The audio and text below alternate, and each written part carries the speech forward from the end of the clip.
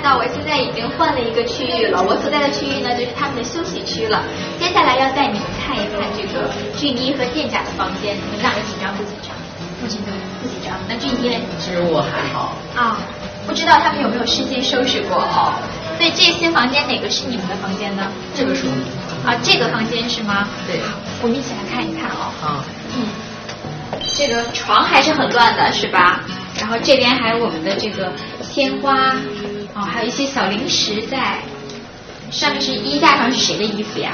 这个衣服啊，架子上是我的，然后桌子上是他的。哦，所以队长就占据了衣架的有利位置，你们发现没？然后我可以看到那里还有就是很多花，好像有点干掉了，这是谁送的？嗯，这个是这个是爸爸妈妈和亲戚朋友送的。啊。然后呢，这个是粉丝后援会送的。哦。这些零食是已经喝过的吗？还是？嗯，这个是喝到一半还没喝完。哦。哎，我发现这个柜子还有一条小布条已经就是出来了，我给大家看一看啊，看到了吗？这里还有一个小布条出来了，所以谁介意给我打开柜子看一看吗？这是他的柜子。他的柜子好吗？那来店长来，店长来打开看一看。里面只放了一条裤子。啊，然后这个裤子上的小布条它还放在了外面，我们把小布条收进去吧，好吧？嗯，然后上面的是什么呢？没有，空的。啊，这边是军医的柜子啊，然后军医给我们打开看一下可以吗？啊，大家可以看一下，来给我们个特写。哦，收的还是很很整齐的，是不是因为妈妈刚刚来过？哦，没有，是我自己收的，因为如果那么乱放的话，可能还是重的。哦，你看，多棒的孩子呀！然后他为了整理衣服，就把我们的话筒丢到了一边。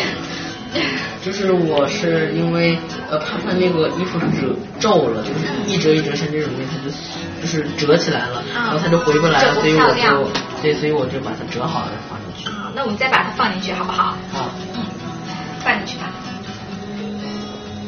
好小心翼翼的，居家必备俊衣。你们知道那俊英有这个特长的吗？就是这个，这是刚刚他当着我的面拼好的。然后我们有约定说私下比拼一下，他最好的成绩是三十，其实就是三十，就官就是公布出来的最好成绩是三十六分。哦，这看他就是稍后会不会打破记录哈，但是今天就不为大家揭晓了，我们只是让大家看到这个多才多艺的俊一，还有他们凌乱的小屋子。好，谢谢你们两个，然后。今天我们的探秘就到这里，先告一段落了。谢谢大家的收看，也期待我们下一期的这个探秘活动，好不好？好，嗯，谢谢大家。好，大家再见。拜拜。